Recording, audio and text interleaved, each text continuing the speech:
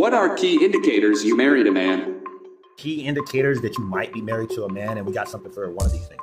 Your husband doesn't do stuff to annoy the of you. Are you even married? Here's a few things that my husband loves to do that drive me crazy. The other day, he asked me if he could touch my hair because he said it looked really soft. So I lean into him like this. He puts his finger on my lip and goes, like he was petting my mustache. I don't even have a mustache. Loves to depants me while I'm brushing my teeth. You have no defense when you're leaning over the sink with toothpaste coming out of your mouth to pull your pants back up. I'm just standing there with now brushing my teeth. Jerk. He loves to sneak up behind me with his sweaty workout shirt or underwear and put it on my face like chloroform. And it's entirely possible that I could pass out from the smell. Mm. He puts his finger in my mouth when I yawn. Okay, right there. You're not supposed to yawn without.